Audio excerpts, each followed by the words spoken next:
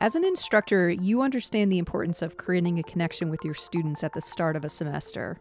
The first step in that connection is learning your students' names so you can address them confidently in class. To help with this, CourseIntros.com lets you collect and organize short introduction videos from your students where they say their name and an interesting fact about themselves.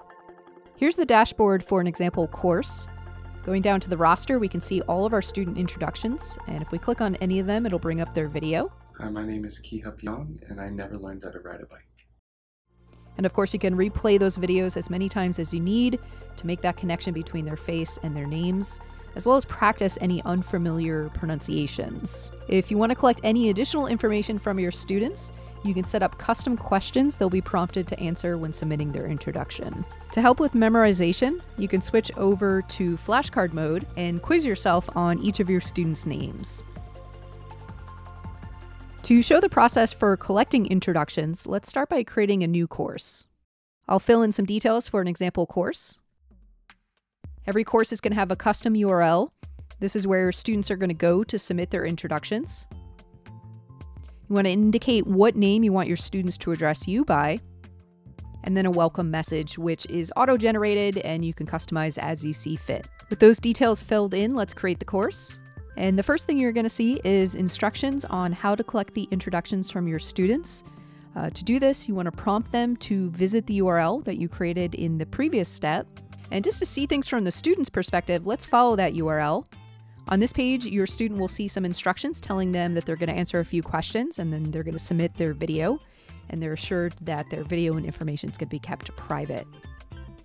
Uh, the custom message you set when you created the course in the previous step that'll appear on this uh, instruction page. And then following that is the details that the student's going to fill out. And once again, let's complete this with some example data. With everything filled out, I'll click Next. And on the following page is where your student's going to submit their video. They see some instructions up top telling them to keep it short at 10 seconds or less, and they're prompted to say their name and a fun or interesting fact about themselves. To complete this example, I will upload a sample video.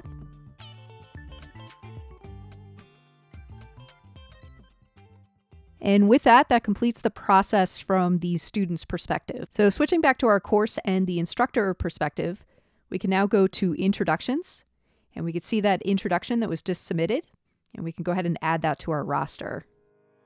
And that's the basic flow of working with course intros. Before we wrap things up, I just want to highlight some of the other features that might be useful. There is a tagging feature where you could organize your students by custom tags you create, maybe based on sections. This could be really useful if you have a lot of students in your course. The student list feature allows you to upload a CSV list of your students' email addresses and names so you can keep track of which students have or have not submitted their introductions. Under collaborators, you can invite other instructors to have access to your introductions for this course. Uh, again, this is something that might be useful in a large course if you're teaching it as part of a team. There's co instructors or teaching assistants, and you want them all to have access to it. You can invite them as collaborators. Under settings, as I mentioned previously, you can add custom questions here, uh, so you can collect any additional data you need from your students. And then finally, the archive feature is something you can use at the end of the semester. This will generate a zip folder with all of your students' videos as well as the data they submitted as part of their intros. And you could download that and have it as part of your permanent records. And that's something that could be really useful. Let's say you have a student reach out years down the road and you need a refresher on who they are, what course they took with you. You'll have that data available. And with that, I hope you'll check out CourseIntros.com. It's a great way to get to know your students at the beginning of a semester and create meaningful connections in the long run.